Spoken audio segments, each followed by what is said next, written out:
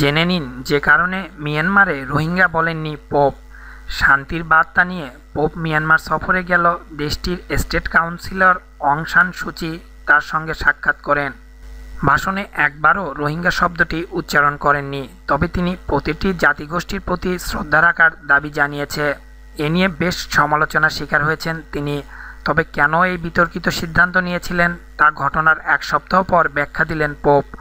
Pope Francis বলেছেন, রোহিঙ্গা শব্দটি আগে উচ্চারণ করলে মিয়ানমারের নেতাদের সঙ্গে সংলাপের পথ বন্ধ হয়ে যাওয়ার আশঙ্কা ছিল। আর ঝুঁকিটি তিনি নিতে চাননি বলেই শব্দটি উচ্চারণ করেননি। সিএনএনের প্রতিবেদনে বলা হয়, গত শনিবার বাংলাদেশ সফর শেষে ফিরে যাওয়ার সময় সাংবাদিকদের প্রশ্নের জবাবে পোপ ফ্রান্সিস তার ওই সিদ্ধান্তের এমন ব্যাখ্যা দিয়েছেন। পোপ বলেন, আমি যদি শব্দটি উচ্চারণ করতাম, তাহলে মিয়ানমারের নেতারা মুখের ওপর সব আলোচনার পথ বন্ধ করে দিতেন। বিষয়টি সম্পর্কে আমি ভাবছি, তা কিন্তু সবার জানা। ব্যক্তিগত ওই বৈঠকগুলো আমি ভেস্তে যেতে দিতে চাইনি। বৈঠকগুলো হওয়ায় আমি বেশ সন্তুষ্ট। আর রোহিঙ্গা শব্দটি উচ্চারণ না করেও ওই বৈঠকেই মূল বার্তাটি আমি পৌঁছে দিতে পেরেছি। পোপ ফ্রান্সিস বলেন, রোহিঙ্গা সংকট নিয়ে আলোচনার জন্যই তিনি মিয়ানমার সফর করেছিলেন।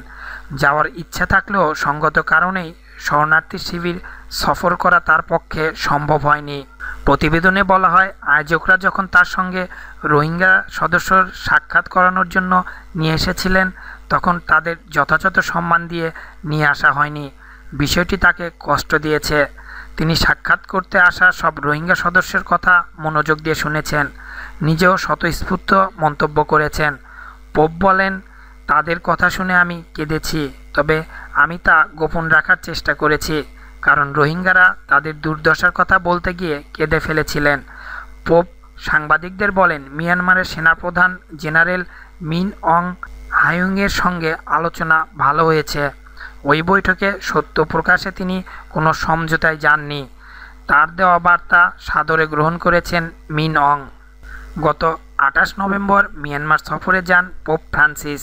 সেখানে সরাসরি রোহিঙ্গাদের কথা উল্লেখ না করলেও ভাষণে জাতিগোষ্ঠীর অধিকার রক্ষার প্রতি পোপ তার শক্ত অবস্থান তুলে ধরেন। পোপ বলেন, মিয়ানমারকে অবশ্যই শান্তিপূর্ণ হতে হবে। সমাজের প্রতিটি সদস্যের মর্যাদা ও অধিকারের ভিত্তিতে এই শান্তি আনতে হবে। ভাষণ দেওয়ার আগে পোপ ফ্রান্সিস মিয়ানমারের নেত্রী অং সান সুচির সঙ্গে সাক্ষাৎ করেন। সুচিও তার ভাষণে সরাসরি রোহিঙ্গা মুসলমানদের কথা উল্লেখ করেননি। তবে তিনি স্বীকার করেন যে রাখাইনের পরিস্থিতি বিশ্বের ব্যাপক মনোযোগ আকর্ষণ করেছে।